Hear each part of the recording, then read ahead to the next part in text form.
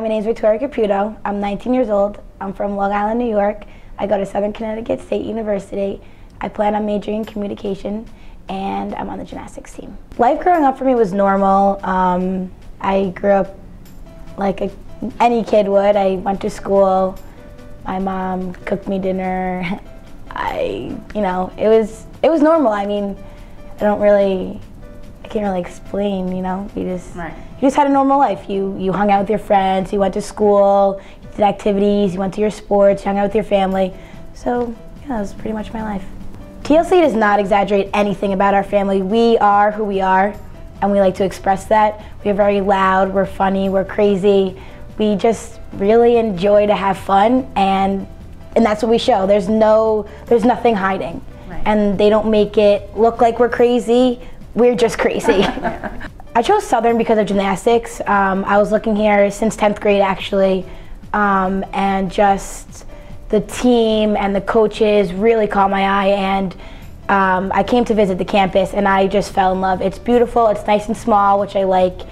And ever since then, yeah, How long have you been doing gymnastics? I've been doing gymnastics since I've been four years old. So, 13 years. Give or take. Yeah, give or take. Give or, give or take. Yeah. Do you feel about the attention inside of Southern and outside of Southern?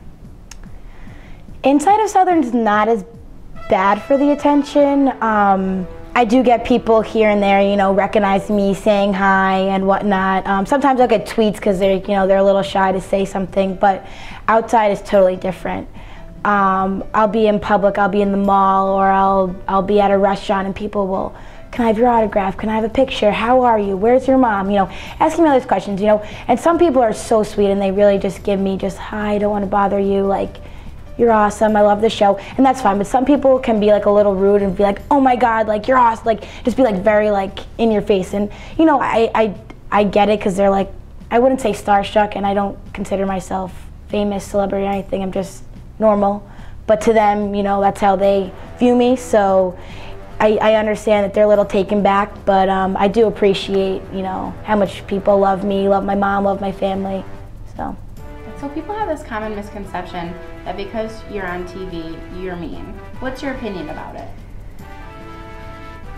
my opinion about you know be me being on TV and me being mean um, I don't agree at all. I'm an extremely friendly person and I love to meet new people and I enjoy, you know, talking.